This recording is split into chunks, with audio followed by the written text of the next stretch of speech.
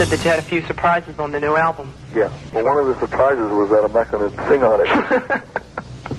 and that was a, a surprise to me, too. no, I don't know. You know, I think the surprise is going to be, how, you know, that this album has got such great tunes on it.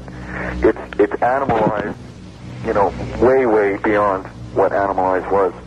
The, um, the sound, everything has been recorded much better. It's been recorded very, very well. And, uh, you know, it's going to really sound great. And it, it's got, it's more, it's much more raunchy than, than Animalize. There's more of a sense of fun on this album. We've got a couple of surprises. A couple of the beginnings of the of the tunes are different. Um, King of the Mountain starts where I was just kind of like warming up to get ready to cut the track, and I was fooling around with the drum, just you know, and it, it got recorded, and we decided to leave it.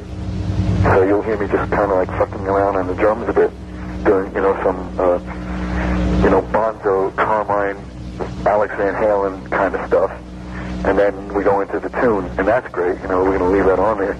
And then there's another song that starts. I think it's "Run for Your Life," but that that title may change. But it's "Run for Your Life," where it's going to start with me, you know, me playing a beat, um, double kick thing, and it's either going to just start or it's kind of kind of going to swell up, fade in, and then Bruce comes in and the whole song just like fucking grabs you, it's going to knock you out of your chair. Straight.